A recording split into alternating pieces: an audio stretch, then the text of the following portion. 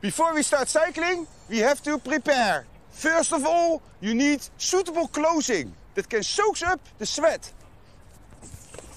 Then, the vehicle.